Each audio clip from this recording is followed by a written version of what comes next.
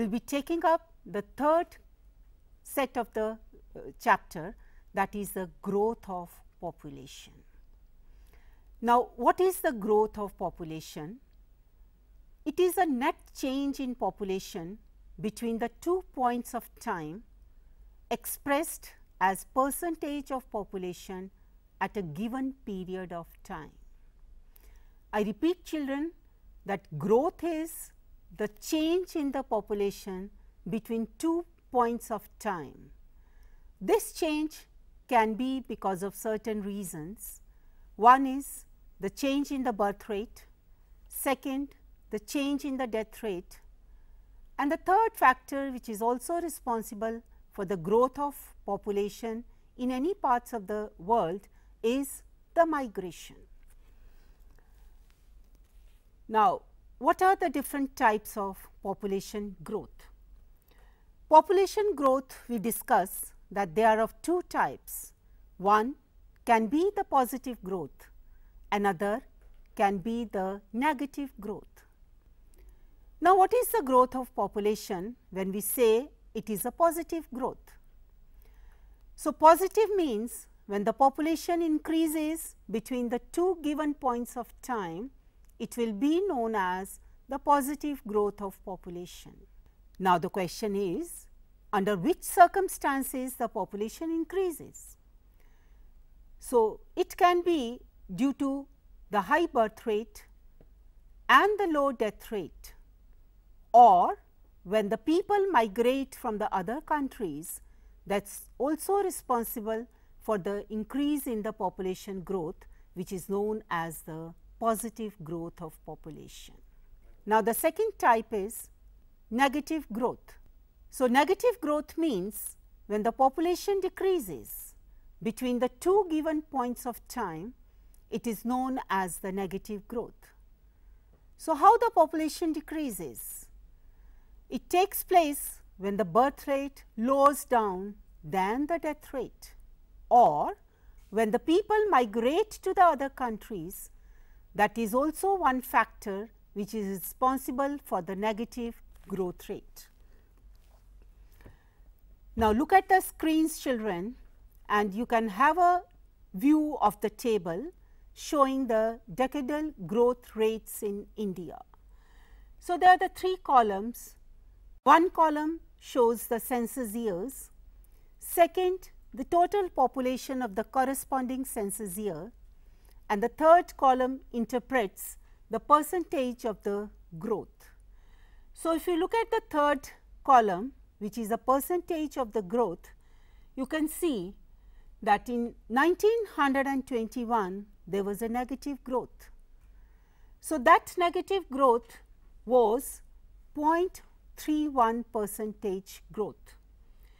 And in all the other years census years you find there is a positive growth. And the last positive growth which is seen in the census 2011 that is 17.6 percent growth of the population. Now, this diagram is a line graph which shows the percentage growth rates of the population between the different years 1951 to 61 to 2001 and 2011. So, in 1961 and 71 till then in the previous decade that is 51 to 61 there was a rise in the percentage of the growth of population and that rise was from 21 percent to 24.8 percent as the diagram is self explanatory that the curve is rising up. So, after that from 61 71 onwards till 2001 and 2011 there is a gradual fall in the growth rate of the population and that population has fallen from 24 percent to 17.64 percent that was in 2001 census. Now, according to this diagram, we divide the different census years into four parts. One, the part of the stagnant growth rate. which was before 1921. The second is the period of steady growth rate that is from 1921 to 1951.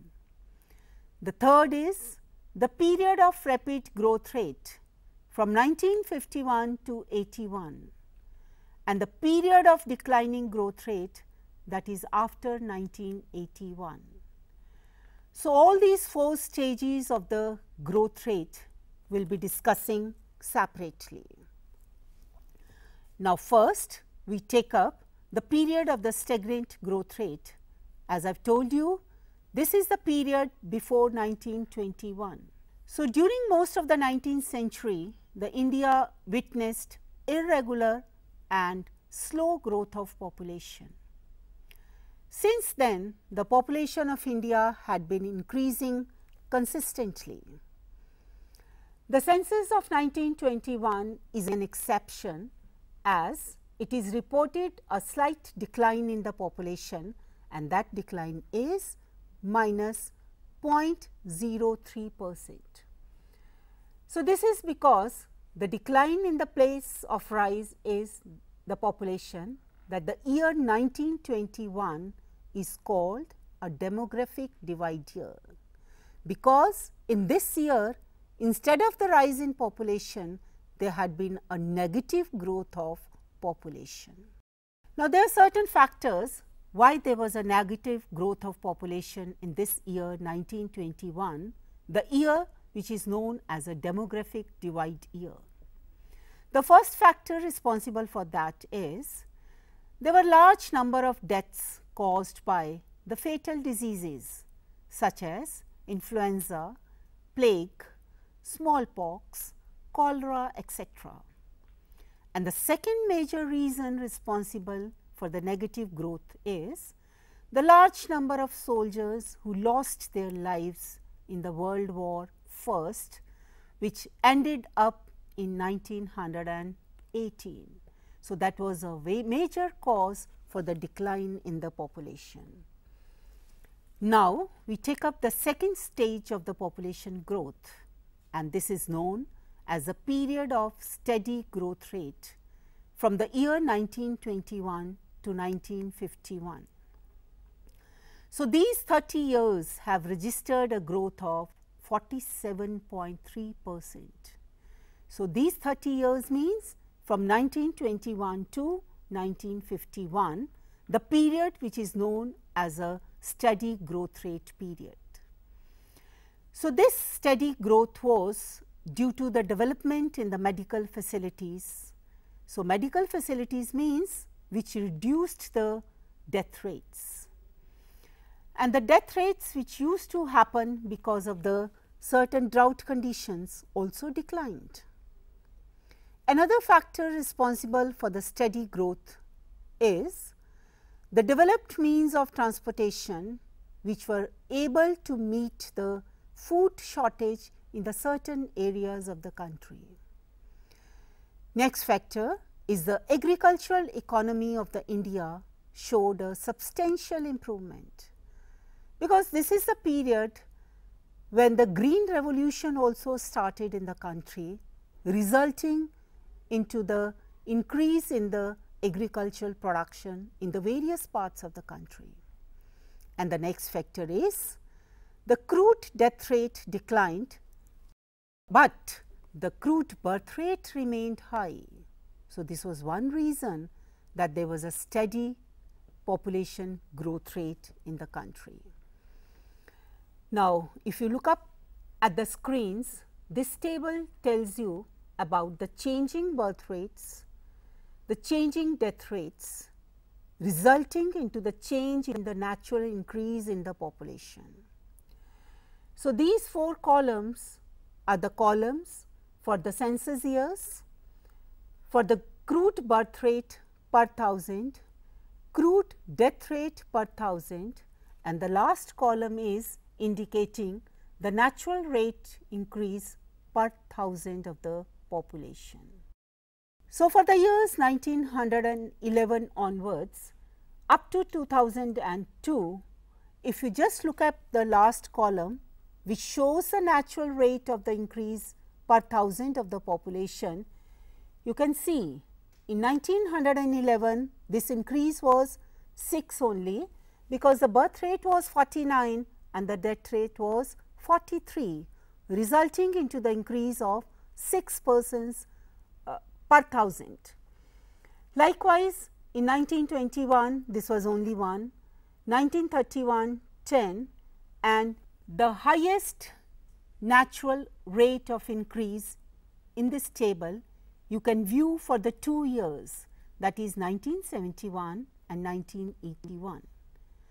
If you look at the table, it is self explanatory that in these two years the birth rate was very high that was 37 and 34, whereas the death rate had declined a lot with 15 and 12 respectively, resulting into the natural rate of increase 22 per thousand for these two years. Now, the third is the period of rapid growth rate from 1951 to 81. In this period, the growth rate had been very high that is 89.36 and the average growth rate was 2.2 percent per annum. And the factors responsible for that are quite obvious that the better health facilities, the better living conditions, decline in death rate and high natural increase was the result of all these facilities. And then the last phase is the period of the declining growth rate which is after 1981. So, in this period you can just see that in 1971 the highest growth rate was 2.48 percent which declined to 2.46 in 1981 and there was a further decline in 1991 with 2.38 percent and 2001 there was little decline again that is 2.15. So, dear children this was all about the growth of population and the different stages of the growth of population we have studied that the rapid increase, declining growth, steady increase, these are the different stages of the growth rate. Now, the last part is left which we will be taking up later that is the composition of population.